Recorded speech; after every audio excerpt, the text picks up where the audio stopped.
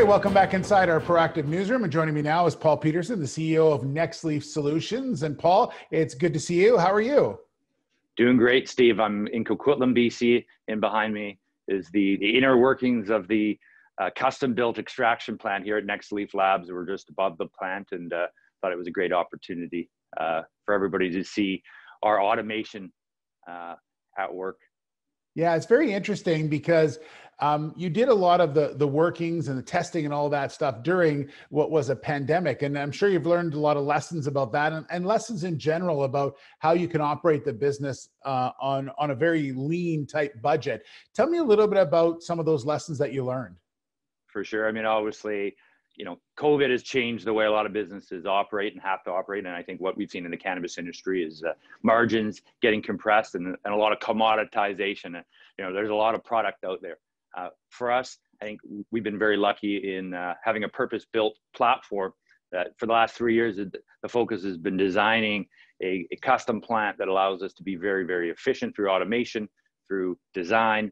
Uh, we have 24 full-time folks uh, able to operate our plant and uh, process what is uh, about 200 uh, kilos per shift of dried biomass into that highly refined oil. So uh, I think for us, it's it was uh, was very lucky uh, to be able to kind of weather the storm through COVID, and we think that uh, uh, now with the largest outdoor harvest on record this fall, I, Nextleaf's well positioned Let's talk a little bit about some of the things that that that you've heard from your shareholders. Uh, there's quite a few things that they've talked about. One of them is is share price, and and I know that's always a, a, a difficult one because it really is dependent on on what the market says. So tell me about where you are as far as your share price is, and and uh, were you expecting to be where you are right now? Well, listen, I don't think anyone's happy with with where our stock price is, but uh, uh, you know, for us, we're building a billion dollar patent portfolio our future here is uh, is in the extraction and purification of what is a commodity, and and we think that uh, uh, for us we have the right platform, we have the lean structure, the right scale, and most importantly, uh, we aren't using a bunch of off the shelf technology, off the shelf CO2 equipment and rotovaps that um, increase the cost of production substantially. And I think we've got the right model, the right technology, and you know for us. Uh, uh, we're building a, a great business focused on monetizing our innovative technology through a private label. We recently launched our commercial partners program, which we're very excited about. It's a way for uh, cultivators to, to monetize uh, their dried flower and then um, selling through our existing partners. We have some, some fantastic partners across Canada that are, again, focused on other parts of the supply chain,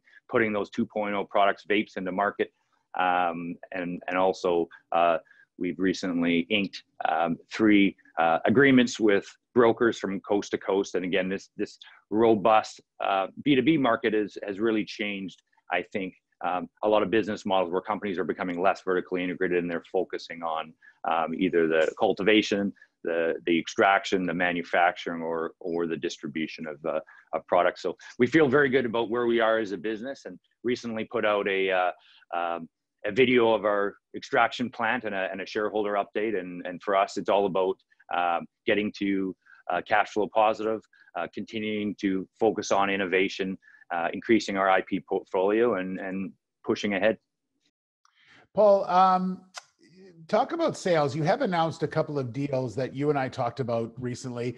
Um, are, are, there more coming, and is it are they a bit slower than you were anticipating? I know that's a, probably a big question you get from your shareholders.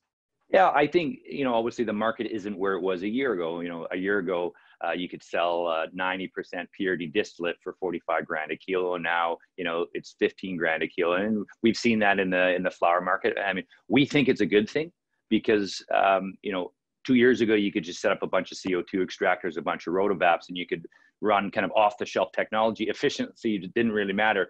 Now that the channels are filled, uh, it's all about uh, you know focusing on relationships uh, that are accretive for, for both sides and uh, we've announced some uh, some partnerships that, that we're obviously very excited about. We're uh, working with these partners um, and then as well as the the b2b marketplace we've announced the oils commercial partners program. Um, but also more importantly selling through this kind of b2b marketplace where now uh, you know, the industry is very different from where it was a couple years ago. For us, it's not just about making announcements; it's about running a great business, and uh, there's opportunities obviously to monetize uh, wholesale product through B2B channels through these wholesale marketplaces. And we really think that um, it comes back to, to value, and, and our value proposition is, uh, you know, simply uh, economies of scale uh, through our, our plant being able to have that low cost, high purity distillate, and uh, most importantly, provide a better value than companies that either do it themselves or work with processors that have more people and because of that uh, have to have higher pricing. So we think we've got the right uh, platform for, for where the industry is today, and and and that is uh, that there's a lot of uh, commoditization out there, and obviously until the retail kind of rolls out, um, that we think that uh, you know for us it's all about uh, surviving long enough to make the IP and and patents matter, and and uh, we like our chances. Yeah, that, that really makes a lot of sense, Paul. Um, I want to ask you just, I, I think people tend to to um, not realize just the the youthfulness of the of the cannabis market, especially here in Canada. I mean, it really takes time to develop uh, into into what is considered a, a, a full you know market. And we're not there yet. It's only a couple of years old and and edibles really aren't even on the market as much as they can be. Yeah i mean obviously cannabis is um, has only been legalized federally in canada for less than two years and obviously it's still illicit federally in the United States. And I think when when the U.S. goes, you're going to see um, uh, a number of large players, similar to what we've seen in Canada with Constellation and and, and Imperial and and obviously Molson. Um, you know, this industry is only getting started, and I, and I think that was the the big mistake that some uh, larger companies made. They raised a lot of capital, they scaled, they hired. Uh, and scaled up too fast, and, and I think you know scale is important because uh, uh, you know obviously efficiency matters but that's really more important than scale. And, and I think for us, um, it's all about you know staying lean. Um, that allows us uh, to have a shorter path to profitability. And, and again, as I mentioned, our IP, it's all about innovation. For us, I think we've done that better than anybody else. We've got over uh, 41 issued patents. Recently, just had a patent issued, and uh, uh a 100% issued uh, patent success rate, right, from from our pending to issued. And and uh, we think that you know as the U.S. legalizes, uh, you're going to see big players come into this space. We think we're the the most important part of the supply chain, and then there's a lot of technology and innovation around being able to efficiently uh, take dried biomass, that kind of oil grade flower and trim, be able to turn that efficiently into those standardized molecules that then power these products. But you know, to your point about uh, the you know the industry, I think I just saw you know BC's uh, retail adult use sales have increased 600 percent uh, from the from the June prior. I mean, obviously that's a that's a big ramp up across Canada. It's around uh, 120 percent.